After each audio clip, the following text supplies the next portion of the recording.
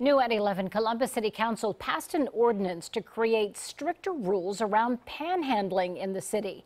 NBC4's Rob Sneed joins us live now from City Hall with why they chose to do this and what's next. Rob?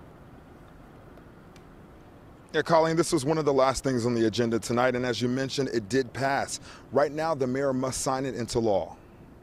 Just walk down any major street in Columbus and you'll find folks are asking for money, but the aggressive panhandlers are creating concern. The activity has become more aggressive than what it had been in the past, and they want us to be able to deal with that. Business owners tell us panhandling is a daily problem outside of their establishments. Some even telling us they've had to stop aggressive panhandlers six or seven times a day. But with this new ordinance, council members hope to address some major concerns. This ordinance will stop transactions in the middle of the street, make it illegal for people to follow someone who has told them no, put a three foot barrier around people using the ATM. Madeline Stocker with Yes We Can Columbus says she doesn't think this addresses the root of why these people are aggressively panhandling. This legislation really doesn't address any parts of the root cause of homelessness. The fact that the income inequality here is just so stark uh, between neighborhoods. And I think that one of the largest concerns with this is that it distracts and it diverts city resources away from real sustainable solutions and towards jail time and court fees for those who are really not in need of that.